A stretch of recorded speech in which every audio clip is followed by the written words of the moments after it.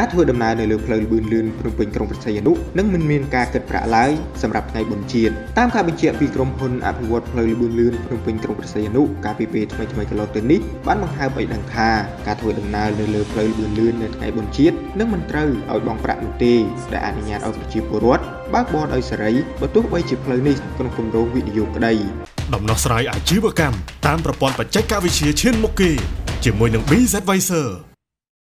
ប្រពន្ធដដែលបានបញ្ជាក់ទៀតថាបច្ចុប្បន្នការបង់ប្រាក់ដើម្បីធ្វើដំណើរនៅលើផ្លូវដែលវិនិយោគដោយក្រុមហ៊ុនឯកជននេះមិនទាន់កំណត់នៅឡើយនោះទេខណៈក្រោយពីសាងសង់ចប់ការធ្វើដំណើរអាចអនុញ្ញាតឲ្យយានយន្តបើកបរបានក្នុងល្បឿន100គីឡូម៉ែត្រក្នុង1ម៉ោងនិងមិនអនុញ្ញាតឲ្យឈប់ក្រៅពីស្ថានីយចំណតជាដាច់ខាតដើម្បីការពារគ្រោះថ្នាក់ចរាចរណ៍សូមជម្រាបផងដែរថាតាមផែនការការសាងសង់ផ្លូវល្បឿនលឿនភ្នំពេញក្រុងព្រះសីហនុនេះនឹងចប់រួចរាល់ជាស្ថាពរនៅខែកញ្ញាឆ្នាំ2022ខាងមុខខណៈល្បឿននៃការសាងសង់គិតត្រឹមបំណាច់ខែវិច្ឆិកាឆ្នាំ2021នេះសម្រេចបានជាង70%ហើយគម្រោងផ្លូវល្បឿនលឿនលើកដំបូងនេះមានប្រវែងសរុប190គីឡូម៉ែត្រចាប់ពីក្នុងសង្កាត់សំរោងក្រោមខណ្ឌពោធិ៍សែនជ័យរាជធានីភ្នំពេញដល់ក្រុងព្រះសីហនុត្រូវបានវិនិយោគដោយក្រុមហ៊ុនសាជីវកម្មស្ពាននិងថ្នល់ចិនពីប្រទេសចិនក្នុងទឹកប្រាក់ប្រមាណ2000លានដុល្លារសហរដ្ឋអាមេរិកតាមរូបភាពសាងសង់អាជីវកម្មនិងប្រទេសរយៈពេលជិត50ឆ្នាំដើម្បីប្រមូលការដឹកជញ្ជូនផលិតផលដំណាំកសិផល និងផលិតផលកសិឧស្សាហកម្មរបស់ក្រុមហ៊ុនវិនិយោគទៅកាន់ទីផ្សារក្នុងស្រុក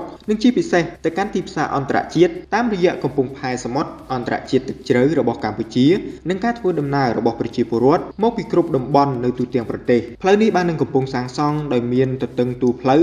24.5ម៉ែត្រសម្រាប់កន្លងផ្លូវធ្វើចរាចរណ៍ពីកន្លងទៅមកដែលអនុញ្ញាតឲ្យយានយន្តគ្រប់ប្រភេទអាចបើកក្នុងល្បឿនដល់ទៅ120គីឡូម៉ែត្រក្នុង1ម៉ោងឯណោះនៅលើបណ្ដោយនៃផ្លូវនេះក៏មានការសាងសង់នៅផ្លូវបដូរទិសចរាចរណ៍ចំនួន7កន្លែងផ្លូវប្រសពចំនួន28កន្លែងផ្លូវក្រោមផ្លូវលបឿនលឿននេះមានចំនួន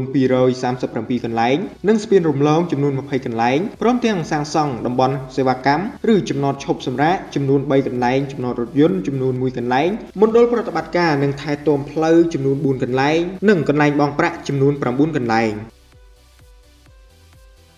អាជីវកម្មមានបញ្ហាហើយកំពុងស្វែងរកដំណោះស្រាយពួកយើងជាអ្វីដែលអាជីវកម្មរបស់លោកអ្នកកំពុងត្រូវការ Biz Advisor ផ្ដល់ជូនកម្មវិធីគ្រប់គ្រងអាជីវកម្មតាមប្រព័ន្ធកុំព្យូទ័រល្អដាច់គេក្នុងប្រទេសកម្ពុជា